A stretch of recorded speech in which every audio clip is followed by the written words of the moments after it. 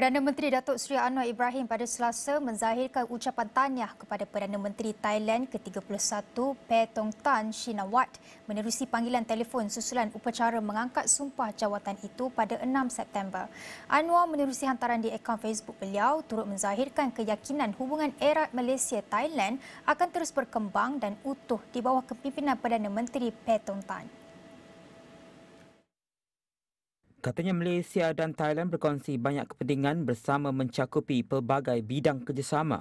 Dalam perbualan itu, beliau menyatakan komitmen untuk bekerjasama rapat dengan Petong Tan bagi melaksanakan usaha-usaha memperkukuhkan hubungan dan kerjasama dua hala Malaysia dan Thailand demi kemajuan dan kemakmuran kedua-dua negara serta rantau ini secara keseluruhannya.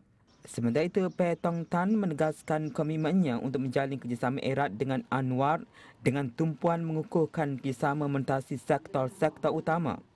Beliau menyampaikan hasrat menjalin kerjasama erat bagi meneruskan momentum dan dasar dirintis antara Anwar dan bekas Perdana Menteri Sreta Tavisin. Kedua-dua pemimpin turut bersetuju untuk melaksanakan inisiatif Six Countries One Destination bagi meningkatkan sektor pelancongan di rantau ini. Sementara itu, kedua-dua pemimpin juga bersetuju untuk bersama dalam mempromosikan keamanan dan pembangunan di kawasan sempadan yang memberi manfaat kepada kedua-dua negara dan rakyatnya.